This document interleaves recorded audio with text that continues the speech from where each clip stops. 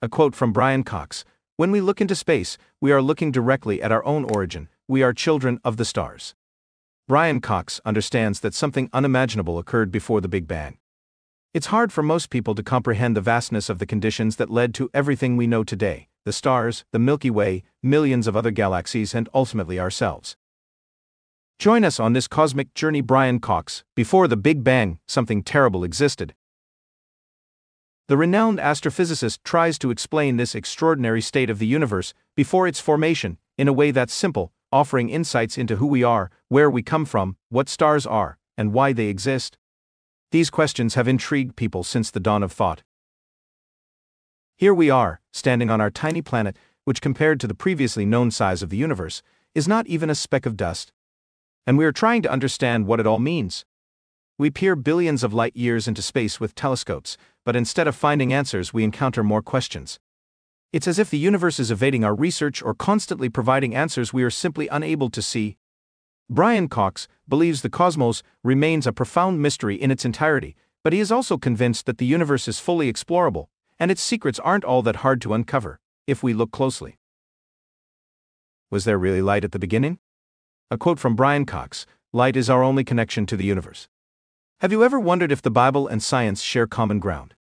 Both aim to explain how the world was created, what laws govern it, and who we are.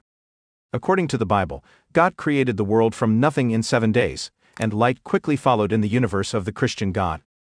However, science questions this account. According to the widely accepted cosmological model, there was no light in the universe for hundreds of thousands of years.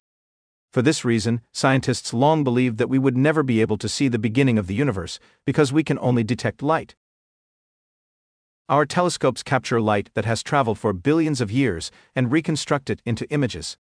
But where there is no light, our telescopes can see nothing, making those regions impossible to explore. If the Big Bang occurred in darkness and the universe remained dark for eons afterward, we would never be able to see this period. Yet, the James Webb Space Telescope has revealed something different. This technological marvel looks back an astounding 13.6 billion years, nearly reaching the era of the Big Bang, which occurred around 13.8 billion years ago. Here's the first surprise the Webb telescope shouldn't have been able to detect anything from this era, as it was supposed to be a dark age with no light and no matter for us to observe. Yet, Webb's images show rows of bright, beautiful galaxies, indicating that matter existed and was already well formed at that time. This discovery challenges the idea that the universe came from nothing and remained dark for a long period. Could light and matter have appeared earlier than we thought? And is the Bible, in some way, correct when it suggests that light was present very quickly or even from the beginning? To understand this, we must first examine what light truly is. Before the Big Bang, there was light. A quote from Richard Feynman If quantum mechanics has not profoundly shocked you, you haven't understood it. Albert Einstein was the first to describe the nature of light, proposing that light consists of photons, which collide with electrons and generate visible light through electromagnetic waves. Light is thus a form of energy created by rotation, friction, or collisions.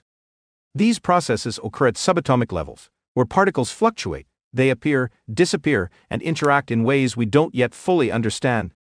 These dynamics generate waves and radiation, sometimes forming light that exists beyond our ability to perceive it.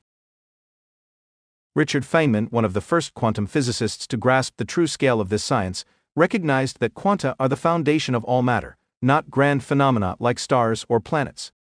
Everything is made of tiny, fluctuating particles. Quanta are strange and unsettling because they behave unpredictably. They only form solid states when observed, otherwise, they remain as unformed potential.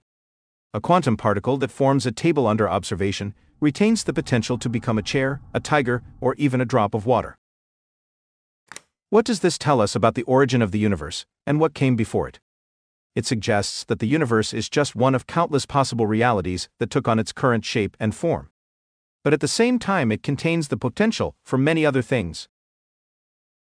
Brian Cox believes that before the universe, there couldn't have been nothing.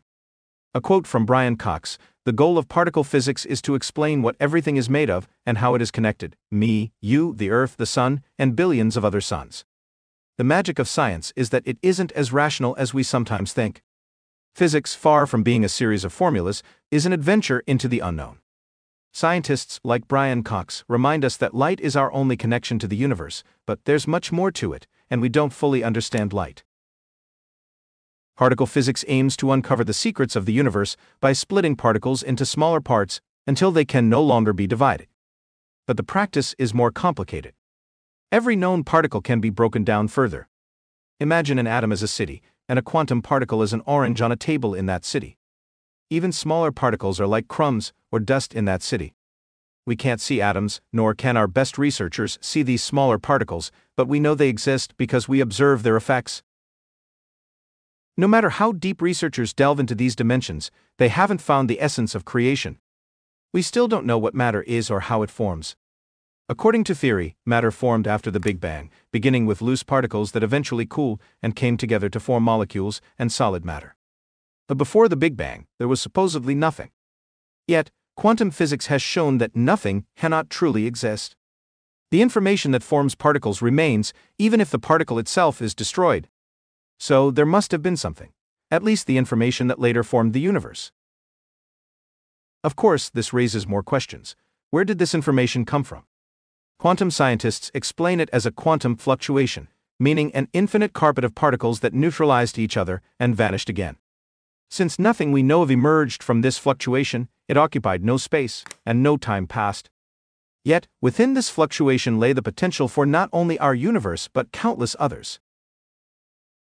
This leads to the astonishing possibility that other versions of the universe could exist, each with its own rules and realities. Imagine a cosmos where everything is pink, where matter flows instead of solidifies, where only thoughts exist, or where time runs backward. These are just a few of countless potential universes. Why did our universe form, and why did humans come into existence? We don't yet know.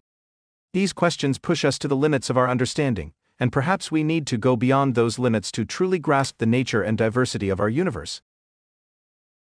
Thanks for joining us on this cosmic journey. Tell us your opinions in the comments section below. Don't forget to like, subscribe, and click the video on your screen for more mind bending content. Until next time, keep gazing at the stars. This is Cosmic Inquiries signing off.